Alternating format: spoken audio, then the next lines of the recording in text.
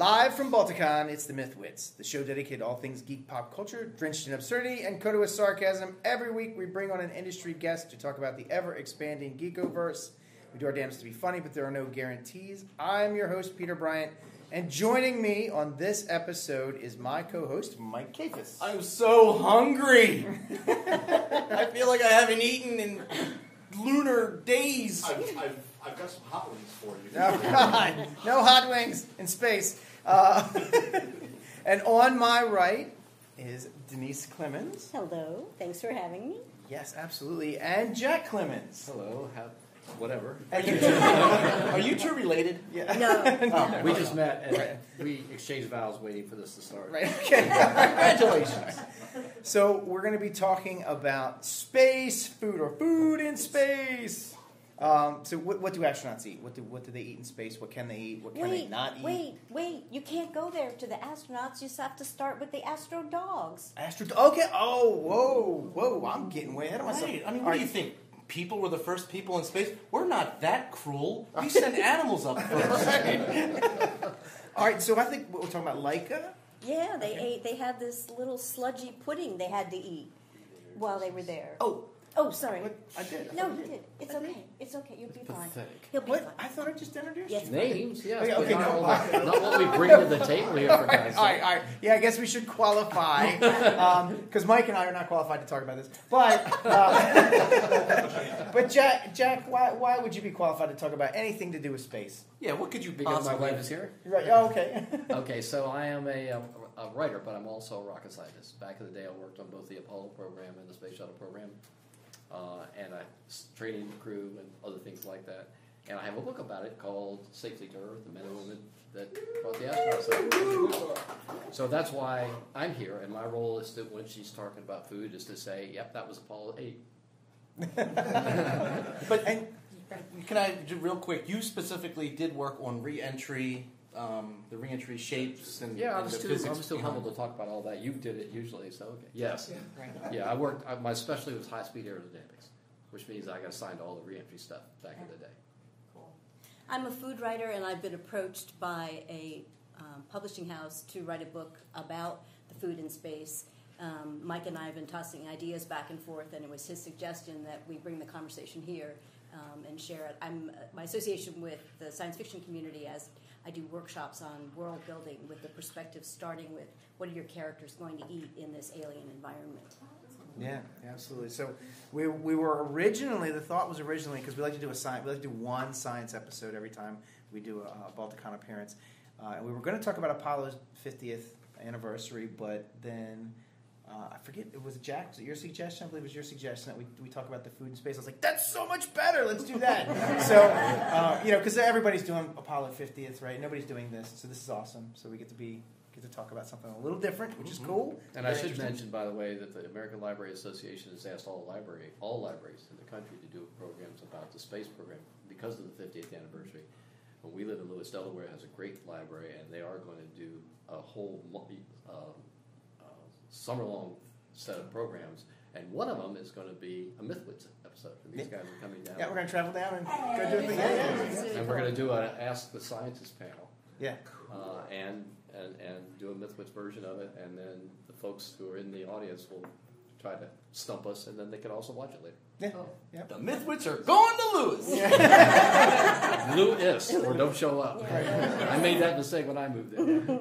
So, and we're doing two shows. One's not going to be Mythwits. It's just going to be. I'm just going to host it Yep. for the kids because I don't. You know, I'm not real comfortable like putting people's kids on the internet. Um, you know, it's just. You know, it's a respect thing. And then, uh, and but then the one for the adults, we'll, we'll put that online. So, It'd be fun. Yep, it'll be fun. All right, so let's get started. Laika, what, what did Laika eat? She had jelly-like food protein paste that um, is not unlike the food you give your cat who has hairballs, because they wanted the dogs to be really efficient about eliminating while they were in space. Okay. That food was never served to astronauts. So, about how long were, were the dogs in space? It was not that long, but it, they wanted they were actually trained to do tasks, and it was their reward for pushing a lever or that sort of thing while they were there.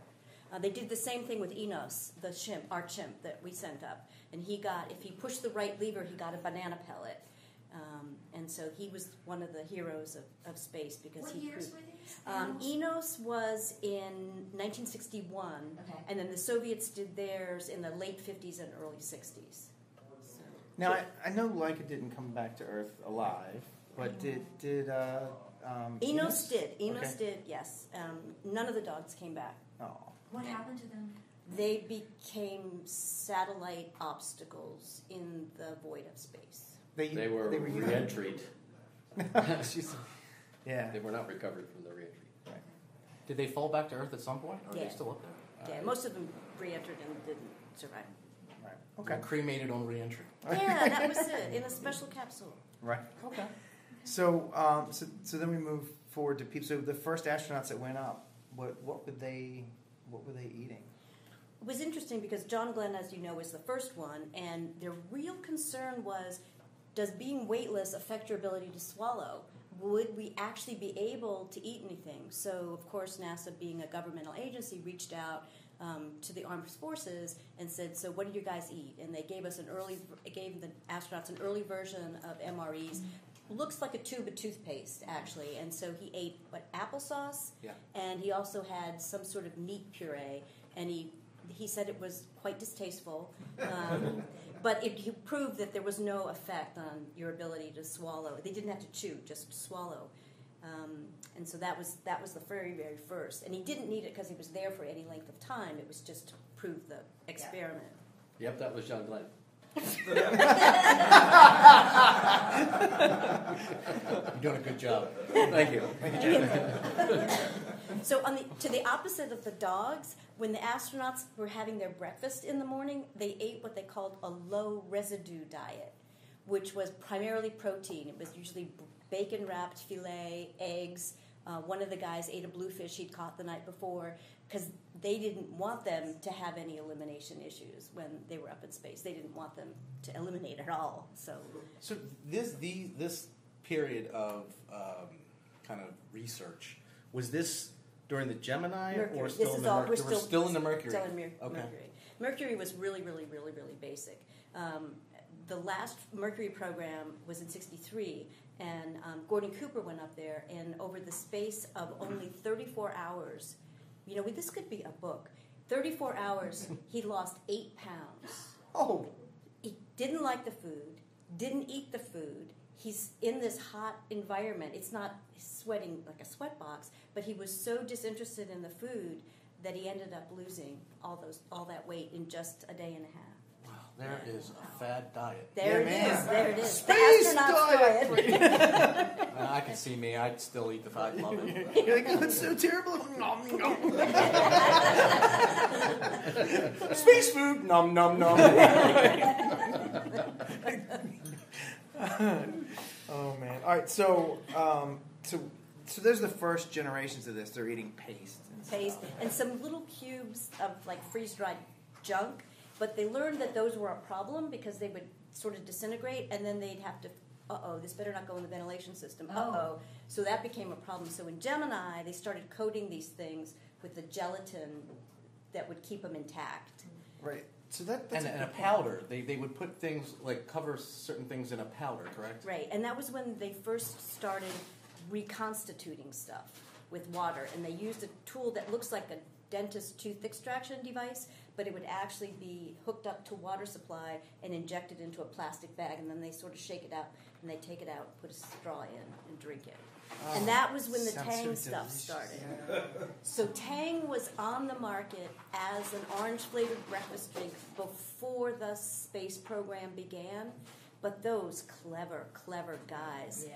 said, oh, they're drinking reconstituted orange flavored powdered drink crystals.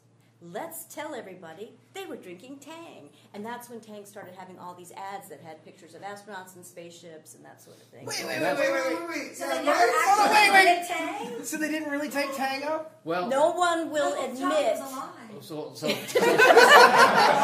childhood. See what you did. so there was an interesting thing going on in those days, and that NASA forbade the astronauts or anybody associated with it to do anything that was mar- marketing anything. And so they would not, you know, you hear all these ads about they had psycho, uh, psych- Seiko watches. They couldn't. They would not confirm it. They would not let them advertise about it. The astronauts couldn't say anything. Conversely, they couldn't argue against it. So when Tang said that's what it was, NASA was just silent. But Crafty, crafty. But later in his life, Buzz Aldrin, the second man on the moon, is widely quoted as having said, Tang sucks. And the feeling was mutual. Right. All right. And and so, just real quick because we're going to be talking about what people eat. We've already talked about having the the, the particles getting into the Hmm. uh, into the air. So like sandwiches are out, right? well, especially a corned beef sandwich that you purchase at the deli on your way to your flight. Right. That you would slip in your suit. Mhm. One guy bought it, one guy stuck it in a spacesuit, and then Gus Grissom Yeah. took a bite and watched breadcrumbs. and then they put it away, and they forgot when they got off, they left it on the. and so when the. When bunch of bad boys. They had to go appear before Congress. and they started all these rules about stuff you may not take with you on the spacecraft. And that's Right. why they couldn't have nice things. That's right. Because one guy spoiled it. God, that is every rule in government. Yeah. Right. So. You only can get get away with something once. Right, and then no one can get away with anything that's remotely similar to Yes. Well, and just like Tang, the guy, the deli at which he bought it, um, put a picture of an astronaut on the front of their menu. Right. So if you go online to their website today, they have like these old menus, and they have a picture of the astronaut. But they NASA will neither confirm nor deny that that actually happened. whether that happened. There's a really, really good book. I think it came out of MIT Press called "Marketing the Moon." Uh, it's uh uh ma- mostly photographs, but a, a lot of text in it, and that's you'll discover a lot of this in there, and all the stuff that went on about NASA absolutely refusing, absolutely refusing to let them do anything that was commercial, and how the businesses then kind of figured out, okay, we'll go with that. Yeah. They're not going to say no, so good, just go ahead. So we'll say yes. So, uh, well, let's move on to Skylab because that would wouldn't that be wait, wait, pretty wait. much the can't next? leave, no, we can't leave Gemini We're not leaving without Gemini. introducing shrimp cocktail.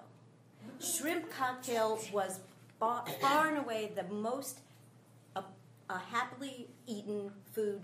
One of the um, astronauts ate it breakfast, lunch, and dinner. It was all he ate. And here's why. So they would freeze dry the shrimp and then they would rehydrate it. But inside of it was this horseradish tomato sauce dip.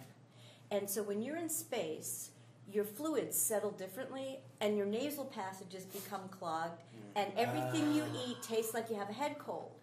So those little flecks of horseradish were like food. I can taste it. Nice. so that was so that we had to have have to have shrimp cocktail because that is still popular even today. They might have even eaten the bomb for that reason. That's right. Yeah. Unless you uh, um, embarrass yourself, you need to have the rocket scientists come in next because space the Skylab was after Apollo and before shuttle. It didn't come next after Mercury. Right. Sure. So, so you said, look, So just don't You can't- embarrass him. Just keep.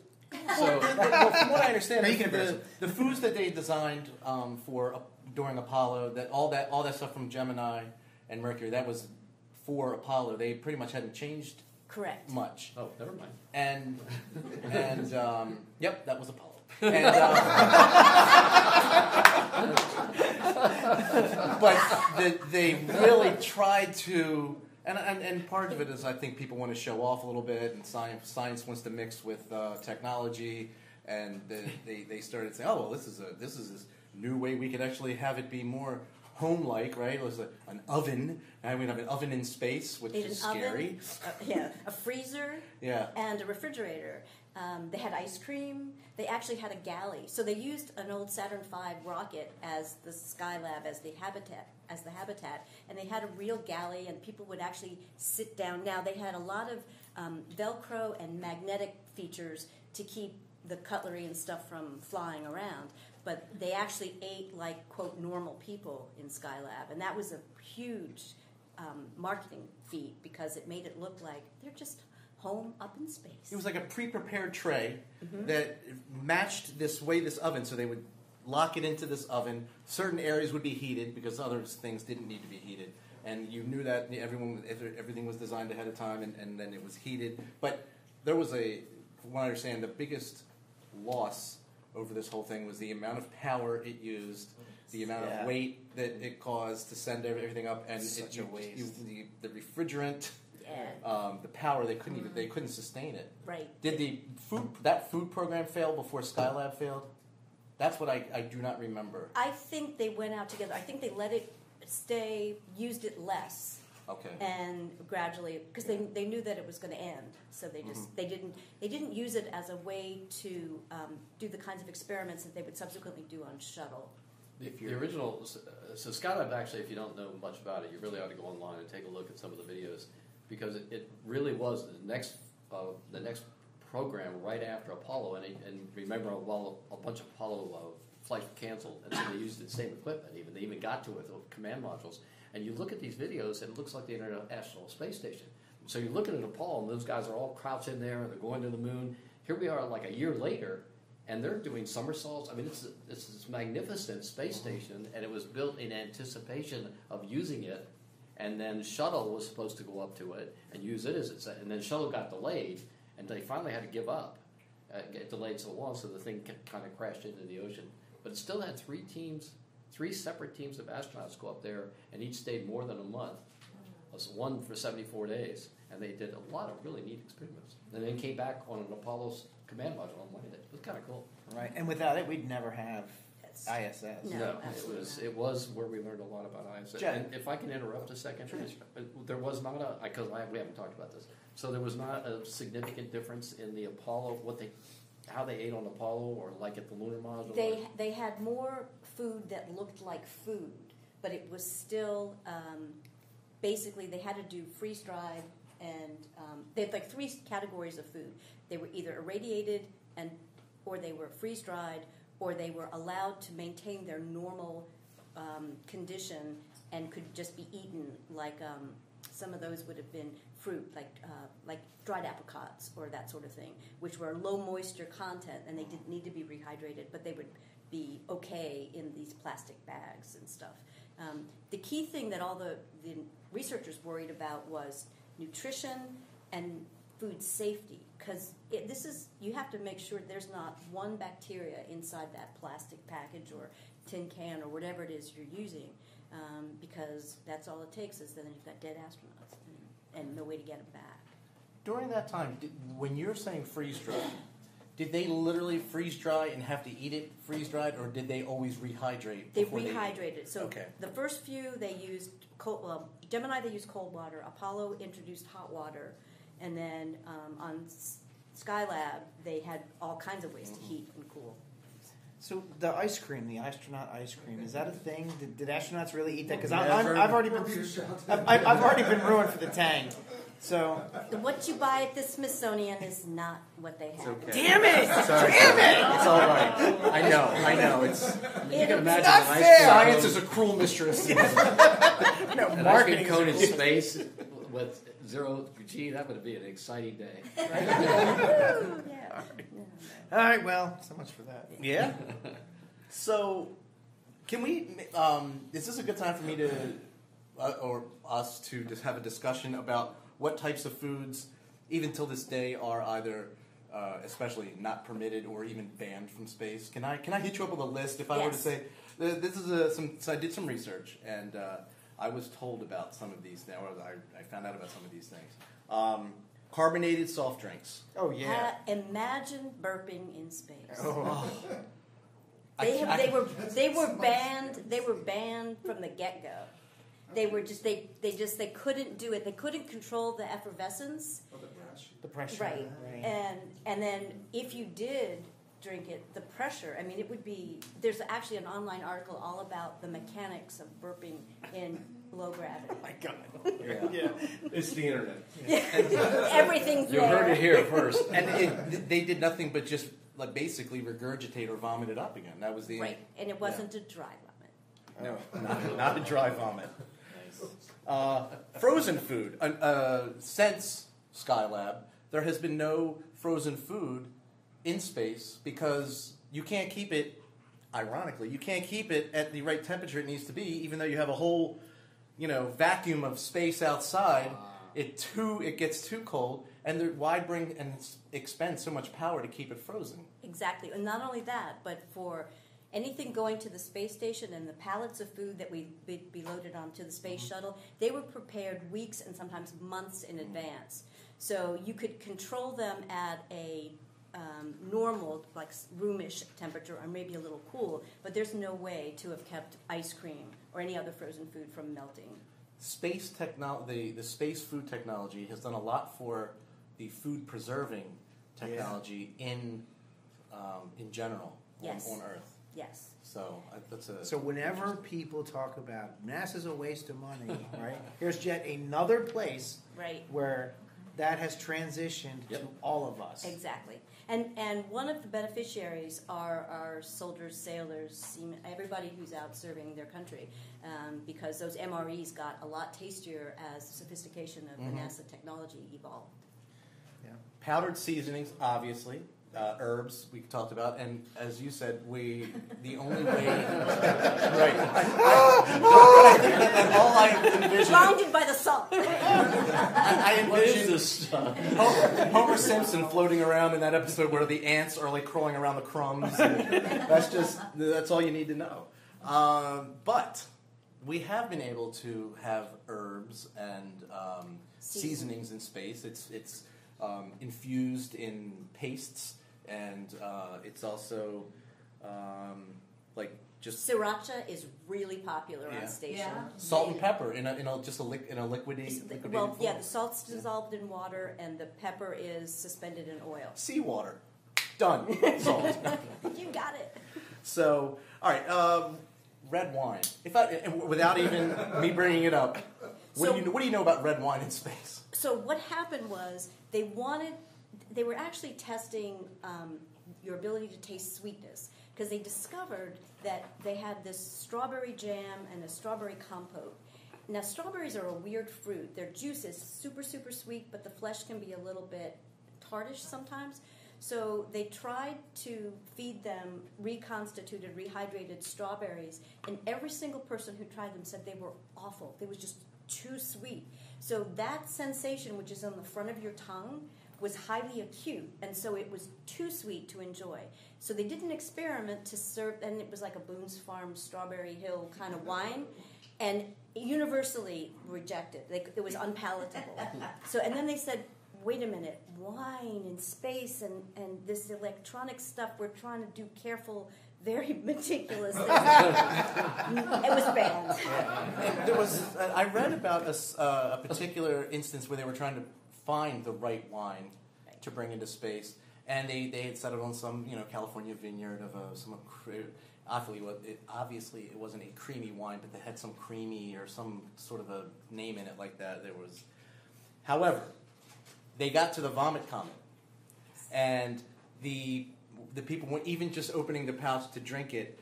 The the the way like we were talking about the way you smell, it just reminded them of vomit, and they could not even bring themselves to drink it. It it was it was its own built-in failsafe for Yeah. drinking in space. That's right. Until the Russians, we'll Yes. get to that. Did you?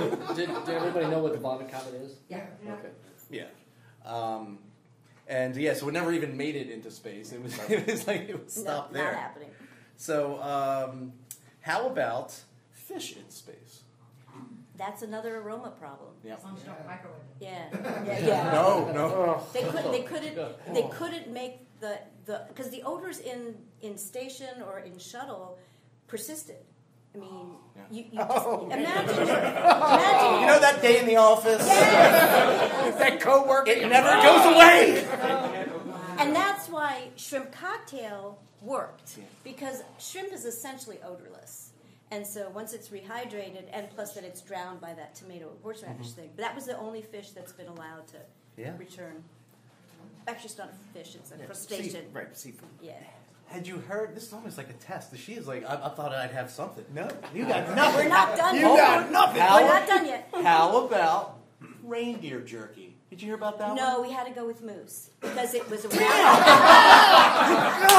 it was around Christmas time, and they were. He was Canadian, and they were afraid that the Americans would be sad that Rudolph and all were. We're eating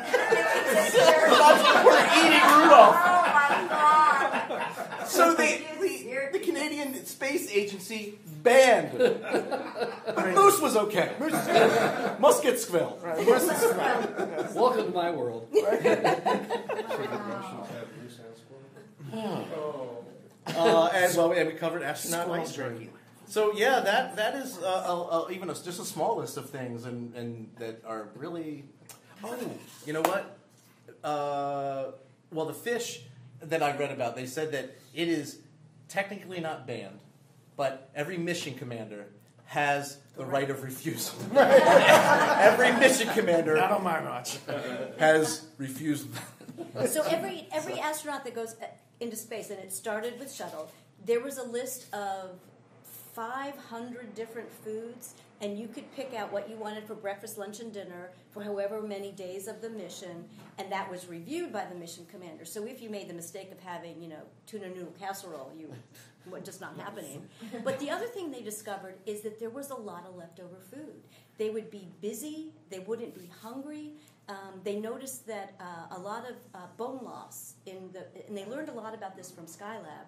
That you weren't getting enough calcium, and so they tried supplements, and that didn't work because people were even less likely to take pills. So they were constantly trying to figure out how to add nutrients to the diet that the astronauts ate, so they wouldn't be without some of the serious minerals that they needed. A- Anything in, in that tube was a puree. Right. Like, have you ever taken any meal you've ever made and decided, hey, this would taste better if I blended it? you know, then doesn't.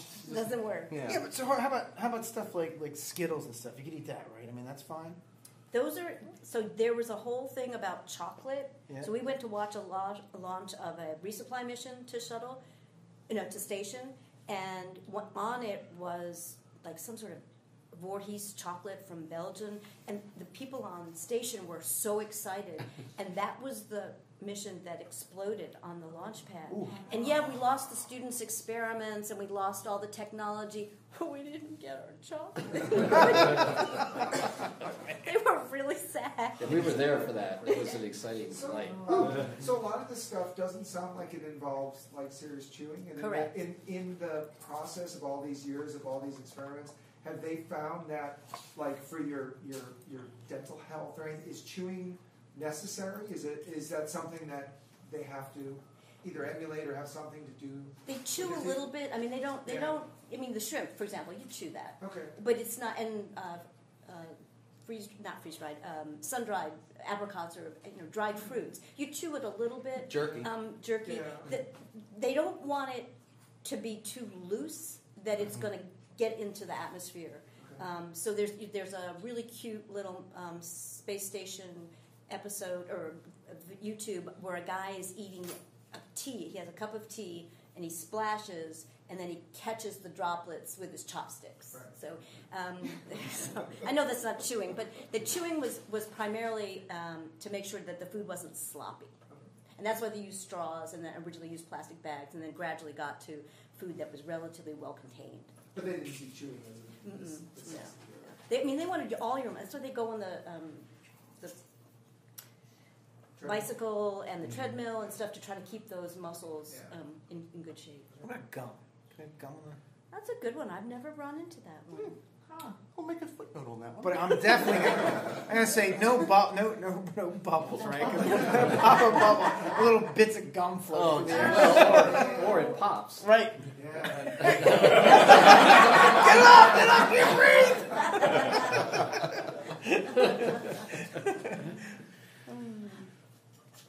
All right, so I'm what's, ready, Mike. What's next, Mike? What do you got next? Uh, let's see. Um, we talked about the hydrating, the dehydrating, and rehydrating. Um, the, the latest technology with that, I feel like, has almost gotten astronauts to uh, a, a very uh, satisfied state. Um, the, uh, the, the Japanese uh, are very proud of the, the, the types of foods they're able to make and and just they know exactly you know and, and there's there's a little dial like the, the system is, is universal when we talk about oh well the Japanese do this everybody uses a universal system for this dehydration and they, they know the amounts for rehydration and there's 50 ml and 75 ml 100 ml there's a little crank you turn it and it's hot and cold water on the station um, I guess there is power needed for Some, you know, having a, the water. A, a lot of things have power Sure, on the sure. station. Yeah. So, So um, and- it's very precise. Yeah, and, and the, the temperature is precise, and the amount that it dispenses is precise. Not like our refrigerators, by the way, because you know.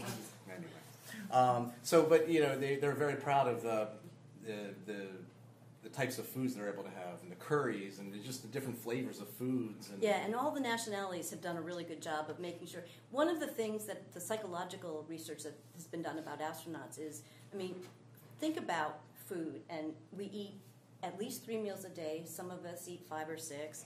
Um, it's a, a point in time to be with your family and your friends. There's a lot of ritual associated with eating, and making. And one of the things they noticed in Skylab was that this communal meal was really restorative to the psychological sense of loneliness and distance um, from their earthbound families and friends. So, food and sharing food in a communal basis has become a ritual that's important, um, especially on station. yeah, yeah. There's not much of an in group or out group if you start. Yeah, no. Let, let's talk a little bit on the, on the culture side of that then. So, uh, Thanksgiving, do they have turkey and cranberry and all that? Yes, unless there's something that goes wrong, and then the Russians share their borscht. Borscht. Okay, so the Russian borscht. All right, cool. And originally, the, on one of the Apollo Soyuz missions, um, they wanted to have you know share their foods. So there's a picture of two American astronauts with tubes labeled vodka in Russian Cyrillic. It's actually borscht, but they were Russians were saying, "Yeah, have some of our vodka." but they did have vodka. I don't know. That no one will admit it, but Right. Okay. no one will admit it. That's right. Because we saw in Gravity, he pulls out that. He had the whole okay. bottle, Yeah, of I course know. he did. There's the glass bottle, right? Of course he had that. It was also a, a great example of orbital mechanics, Right. as we talked about. Space. Let me suggest that if you ever in a spacecraft and you need to go from one orbit to the other, you do not use a fire extinguisher. Yeah. It That is, doesn't work. that is guaranteed to have a bad ending. Noted. So what do you do for like hot liquids, like your morning coffee? You don't really drink that through a straw, do you? When No. you're in space. When Yeah. they have sippy cups. Oh. They have Okay. sippy, cu- sippy cups that have um, you, you probably you might even have one at home that you control the opening of. Yeah. So it's not so it's not like you have to suck it through a straw, but it's more Okay. like a, a, a contoured little sippy cup Okay. that you so you can take little small sips of the hot coffee. But it does come from instant coffee. Until Yes. until do you want me to wait?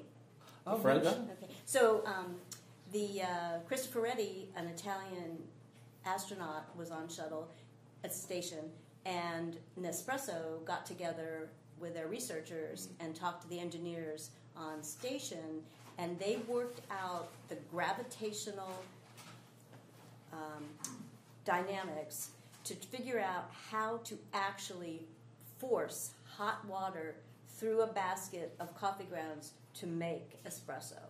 Superheroes. Yes. Uh, and mean, if you think about it, myself that way. if you think about it, um, and you see this also when they're trying to grow things on on station. So it was all the big deal. Oh, we're going to grow our own vegetables. Well, let me see. So I've got a pot with soil in it. Well, I've got to put something over that to keep the soil from getting jostled around. How am I going to water this? Because that water's not going to go there. It's going to go there. So what they had to do um, with the the water, the dynamics that force the water in the right direction, overcoming the gravitational issues, that's a pretty phenomenal piece of engineering. And, it's, and they call it the espresso. As in machine. the ISS. nice. But it is expre- ex- espresso, and it was it was put up there by the French. Yeah. It's so cool, and it's still there. Italian. Uh, yeah, the Italians too. now, that, yeah, that, that was the That was Italians. Nescafe. So you mentioned different, you mentioned food of, of, from all over the world. Um, was there any concern, and maybe this is just because I'm still remembering the effects of the last Mythwits podcast. Oh, Was there any yes. concerns about that? Yeah, they worry about it because you can you can get so seriously dehydrated that you croak.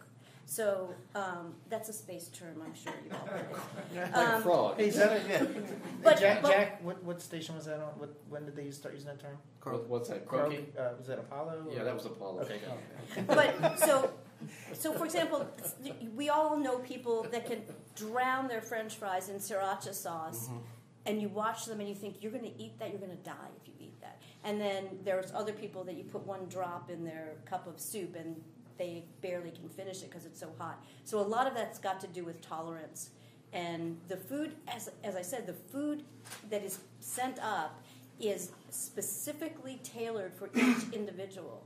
Um, so, and they express their preferences for the degree of heat or not, um, and what specific foods they want. So they are careful about But that. equally dangerous, though, and I think is what you maybe were speaking to is uh, one one little speck of the bomb Yeah, yeah, or, yeah, or yeah. anything. I mean, floating around there, it's it's literally um, what are Lethal. these things? Yeah. It's called in um, in on Oh, the sea. free floating, but no. No, they're in spa- in um, on the sea. You know, mines. It's like a Okay, sea I of don't mine. I think I've You know what I mean? You're like it's just hit you right in the eye, and that's it. You're done. they, they've done a lot of, and if you see some of the pictures of them eating, they've done a lot of containment with Mhm. the foods to make sure that they don't go.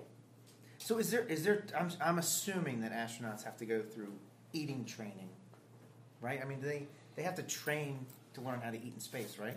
No, No. they well they have to learn how to use the mechanical pieces. right. That's and they're yeah, but they don't they don't have to worry about them being able to eat. So yeah, there's it's training on how to dial up the right number of milliliters for your rehydration process and using the the various tools and techniques and making sure you understand the importance of anchoring that tray so it doesn't float away, that sort of thing. Can, can I Yes. uh, anchor onto that statement for a second? Um, we know, and uh, I think everyone here can pretty much envision, like, well, what, are the, what would be the best ways to hold, keep things down or hold things down? You know, there's the Velcro, and there's magnets, um, and clamps. So, m- what is the latest, like, popular, most useful thing, or is it? It really depends on what the need is. Depends on the circumstances and whether they're eating at a communal Mhm. setting or whether they're at an, at an instrumentation panel and they have to, um, you know, basically set it in loops into the wall so it doesn't fly away. So it depends. And it's constantly evolving too because the space shuttle, the space station changed shape over the years. Sure, yeah. So they got more and more sophisticated ways um, to hold things down. I highly recommend, if you haven't, uh, on YouTube, there are a couple of very good um, tours of the ISS, the recent ones, and it is just, I mean, look, it's like 40 minutes, and I mean, when you're at work, come on, you, I burned through 40 minutes like that, and it was, it was the best 40 minutes I ever, you know, used it for. you know? Boss does not agree. but, but seriously, it very, very, just amazing. The, you know, how it was pieced together, and then you know, there's a, there is a little bit of like, well, that's over there, and there, is, and it's getting so big now where there is starting to be some in grouping and out grouping. So, It's so like a five story, like a five story house. I mean, five story uh, apartment. It's got that much living space. And it's got the um, it's baby got window, the, the sub new bay window, that they can look out. It, it's it's got two or three bathrooms. I think it's a training area. Um, and speaking of bathrooms, obviously there are some implications there about eating, and therefore what, come, what do you have to do about that when you. Jack has a really good story about toilet training for astronauts. Let's hear it. Now is the time to tell it. Okay, so so let me set this up a little bit. So when I worked on the space shuttle program, we were developing the software for the space shuttle, and I lived in the same neighborhood. Everybody lived in the kind of same neighborhoods, and one of my friends was an astronaut who was training for his first flight. It was Mike Mullane, and he did ultimately fly in four different flights. But we were close, uh, and he. He, uh, he and I guess Judy Resnik was his was one of his uh, uh, shipmates on the very first flight, and I don't remember who the who the commander was, uh, but whoever it was, they had to do training to use the toilet because if you did that wrong. Hmm. you were going to uh, have things not necessarily edible floating around in the space, and so Not they were actually setting up. They had them set up on a toilet that and it had a seal on it. You had to get it right. And, and- and so to make sure you had it right, they had a camera. Wait, wait, they had a backup camera? Well, they were- oh. Now you know where that technology came from. So to train on this, they had them sit and they would look at this screen with had hash marks on it because they had a camera. to see if Docking, docking procedure. to see if you were sitting just right because you really didn't want to get this wrong. And Hank Hartsfield, he was the commander. And so Mike said they were all doing this at one point, and my, and Hank starts breaking out and laughing. He's sitting on this thing, and he's just laughing. and he goes, "You know what happens when you laugh like that and you're sitting on your toilet? Your asshole goes."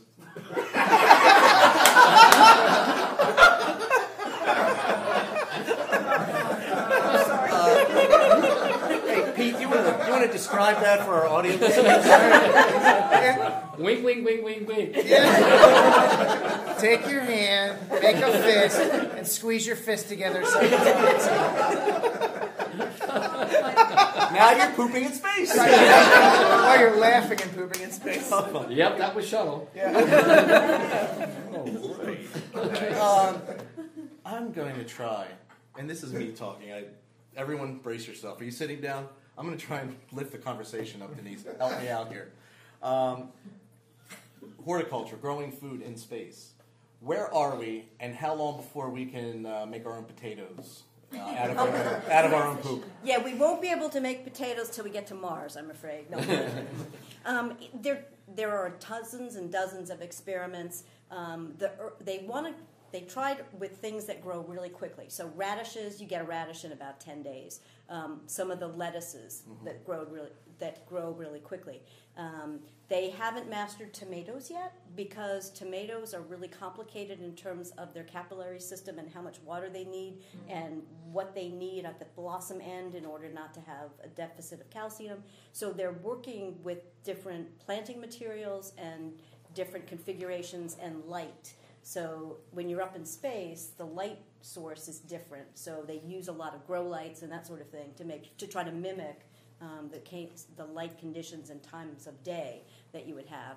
Um, so they had really good success with little things and easy things like lettuce and radishes and stuff like that. Um, and they're still working it, um, trying to get. I don't think we have a place big enough to grow enough crops like in a crop like setting, like to grow our own, you know, a broccoli field or a potato field or that sort of thing. So I'm going to use a, a three-letter word that is very, you know, sensitive in some circles. But uh, GMO, I would imagine, uh, genetically modified organisms, uh, would be a great. This would be a great study, um, case study um, for finding ways to modify tomatoes to have a, a better water reuptake and, and things like that. Exactly, and they the a lot of the so a lot of people are um, categorically exposed to uh, opposed to genetically modified organisms and seed from that. Um, but if you think about it, that is just a more sophisticated way of crossbreeding. Yeah. It's a faster, more sophisticated way Yeah. of crossbreeding. Um, We're going to need to do that to get to, at some point when we go further out into space. We're going to need to have foods that we have were once on this planet, and we would like to take them out. They will have to be modified in some way. Radiation resistant, Yeah. All of you those things. temperature, soil uptake. In fact, probably one of the most challenging aspects of a trip to Mars is food. It's going to take us three years to get there. We're going to spend some time there. And if we do come back, that's another three years. Can we really find enough thrust to get six years worth of food up into the air to get these guys on a trip to Mars? So we have to rethink the packaging, we have to rethink the disposal of the packaging, we have to rethink the actual foods that we're going to send up there, and whether or not we can grow enough crops um, to sustain us um, on that trip and then back again. So that's a really good point. And think about the individuals who will be traveling for the six years. And we've already talked about the kind of food you have to eat and what you're limited to, and having to eat paste and you know and, and all rehydrated food for six years. Like you're not you're not getting a bowl of cereal. You're not you know, all these different things that, that that make life worth living. Because I don't know about any of you, but I- I don't eat the same thing over and over and over and over again, and that would just make me nuts. And a special kind of person to be able to do that. We're a little, we're a little bit further away from all pastes and tubes, and I mean, a lot of times the food actually looks like what it is. I mean, the brownies look like a brownie and that sort of thing. Um, but the pace are very efficient Yeah. because they don't take up a lot of space. Right. And we've gone a, a far way from the metallic containers to polymer containers that don't leave any taste and that are highly resistant to any sort of interference and so and they're much much lighter in weight. So we may end up back at pace in order to do it. Goop. I, I, uh, I don't know if, if any of you saw my talk on Apollo that I did earlier, but on the, the Apollo program, the Saturn V uh, had about seven, seven and a half million pounds of thrust, and that's because the total weight of that system was about six million, right? And so, um, in order to get that thing up into space, at first they didn't even know if they could ever launch a human because the weight was so we didn't have anything thrust strong enough. And then that's how they got to these stages. It says, okay, first stage is gone, we'll throw it away, and that's how they managed to get it up there. And they went to the moon and they just walked around. And so we, she and I were talking about this on the way up here, and it's like, well, of course we didn't, we couldn't have made a permanent base there because that meant bringing all this stuff too. And there was just no rocket available of any kind that would propel us to the moon and take all this crap with us Yeah. and leave it or not or whatever you're going to do. Because every pound that you add is another pound of thrust that you have to get out of that machine. So, Denise, we have uh, about 10 minutes left. I only had one other item on my agenda. Okay. But I would like to just leave the, the floor open for anything that you may have brought that you we haven't discussed yet that you think is uh, I think we got it. cromulent. Cromulent, well, Or crumulent. cromulent, that's true. We've covered cromulence. Okay, we're, we're, we're done. I, I just, I think I, there are a couple of people that were um, instrumental in this, and they really paid attention to making sure that the food was going to allow the astronauts to thrive as well as they could um, in a strange environment with food that really didn't always look and smell and taste like the food at home. So um, they, they've done a really fine job, and they're still working on it. There's a lot of food research going on with the notion of perhaps either getting back to the moon or getting to Mars. D- D- Denise had a conversation with me that kind of related to one I just had. I'd like her to expand on, and that was if you're going to, let's say, colonize Mars, or you're going to, and the fact that, uh, or the moon, and the fact that those are ecosystems that you have to protect, right? And so, let's say you go, let's take the moon. So you go to the moon, and you're going to put a base there, and people have to eat, and drink, and defecate. So, do they? Do, is the base in orbit? and then you just send the astronauts down to explore because you have to get rid of this stuff somewhere. Uh, but if you take them down to the See surface, tranquility. if you take them down to the surface, then you have to provide some place to put this waste. And and you're what was Well, it was it was well. There's the whole notion of what you see in the national parks, where you you carry in, but you carry out whatever you've brought with you.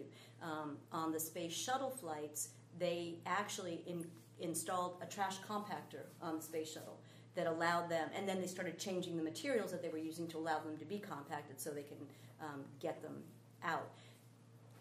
In the station, they actually, when they get a delivery, what they send back is trash.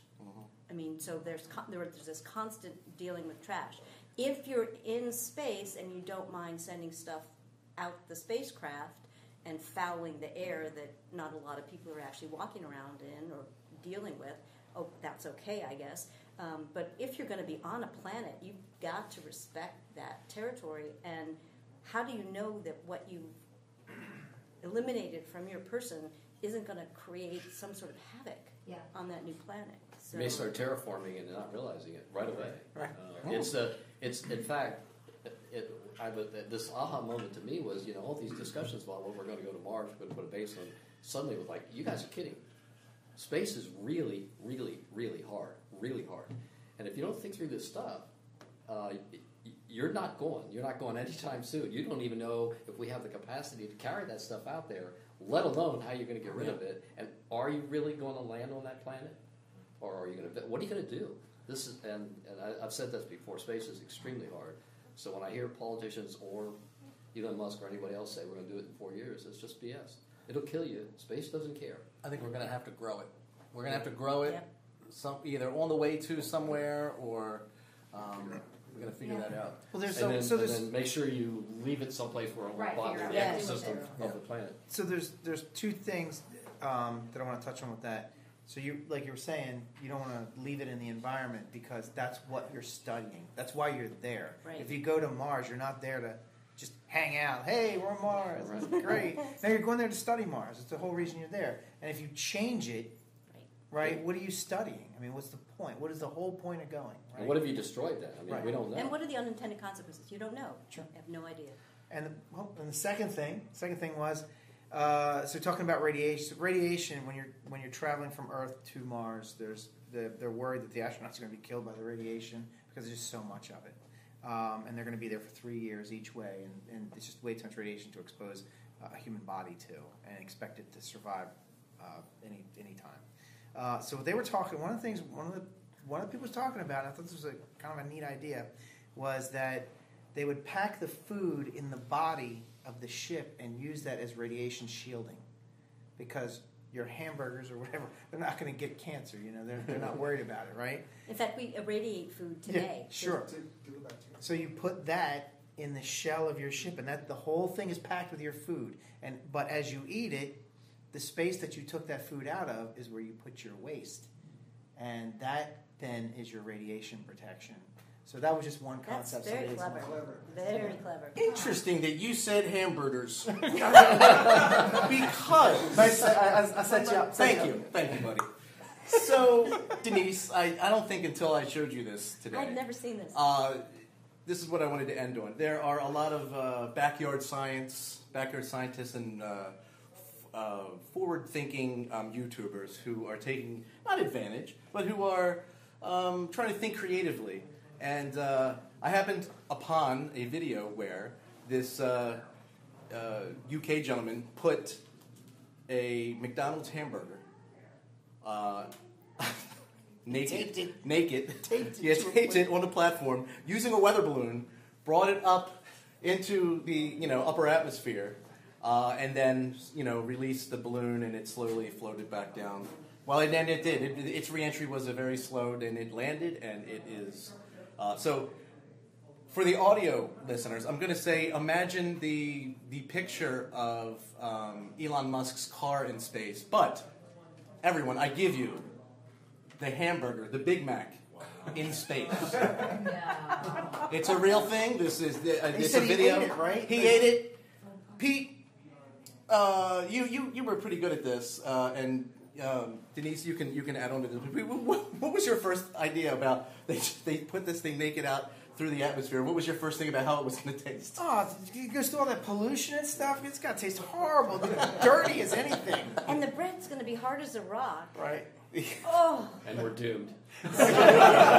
So so he said that he, it was sucking the moisture out of his mouth. Right. Was- and he- this thing was uh, Space is hard. all right. It mummified. It basically space mummified this thing. And on that note, I'd like to thank my guests for coming. Where, where, where can they find your stuff, and what do you got for sales? You got some books out there, right? Jack's books um, on Amazon. Um, Or for the publisher. off the publisher. Um, my book is The Culinary History of Southern Delaware. I'm a real big seller. Um, Talks about Scrapple. yes, it does, does. let and I write a week, and I write a weekly uh, food column um, called Cape Flavors, which is available online. Put, put a plug in for her, for her book, The Culinary History of Southern Delaware. It is really a history of Southern Delaware from the time of the Aboriginals on, seen through the foods and how they evolved and what happened over time. It's it's a, it's a hit. In fact, it's won history awards. Right.